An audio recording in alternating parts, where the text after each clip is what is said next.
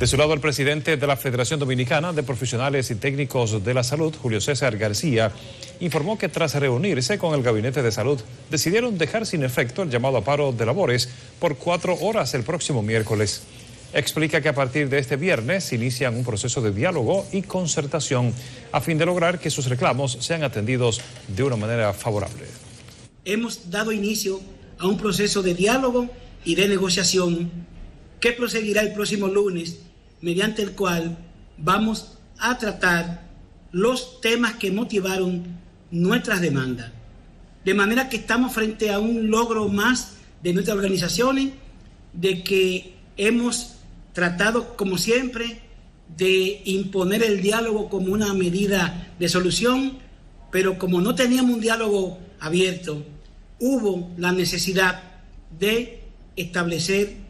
un conjunto de propuestas y de acciones sindicales que felizmente no se van a realizar porque nadie quería en una pandemia provocar un conflicto en el sector salud. Los gremios se comprometieron además a consolidar en un solo documento los pedimentos a fin de entregarlo al gobierno los próximos días.